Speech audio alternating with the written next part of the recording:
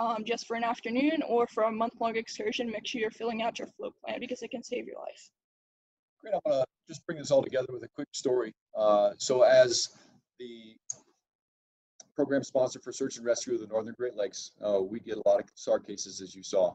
And just say that uh, to highlight some of these issues, last week somebody was uh, out jet skiing with their recreational boat, and the jet ski was tied off to the boat, and then it started to drift away. The the lines had slipped. So one of the members of the vessel decided to jump in and go swim to his personal watercraft to bring it back to his vessel and tie it off.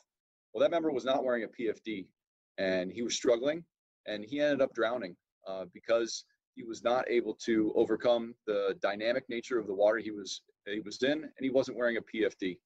Um, on a on a good news story, however, uh, just this week, got a couple paddle boarders decide to leave from the northern shore of the Upper Peninsula and paddle off to an island about three miles away.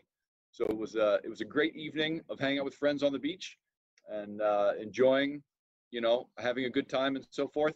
Uh, jumped on their paddle boards at 05:30 in the morning, filed a, a float plan, which was, "Hey guys, we're going to go do this. Go check it out. Hold my beer," and off they paddled.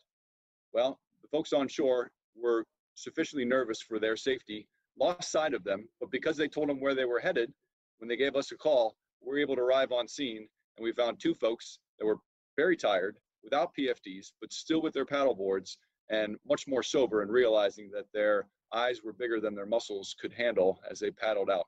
So we, we brought those folks back to shore safely.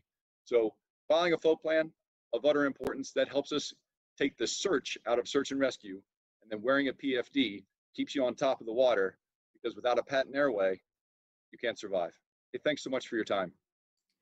Wow, that was fantastic. Thank you so much, Matthew and Grace. That was great. So much great information.